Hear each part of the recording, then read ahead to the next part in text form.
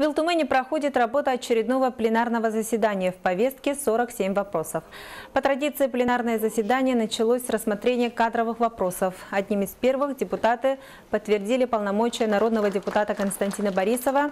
Также депутаты рассмотрели кандидатуру на должность первого заместителя председателя правительства республики, министра экономики Якутии Михаила Осипова, внесенную руководителем региона.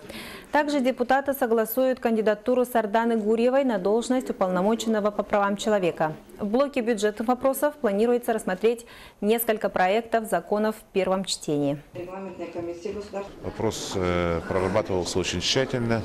Э, Обсуждение его кандидатуры прошло в четырех комитетах. Это в комитете по государственному строительству, законодательству, экономике, инвестиционной политике, по бюджету, финансам, налоговой политике, также по силу и аграрной политике.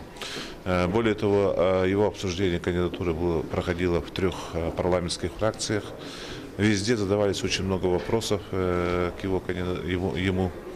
Вот, допустим, вчера на, я являюсь руководителем фракции «Единой России», на нашем заседании было задано более 20 вопросов Михаилу Анатольевичу. И мы получили очень обстоятельные, хорошие ответы квалифицированного специалиста. И в целом депутатский корпус, я думаю, что он удовлетворен этими ответами.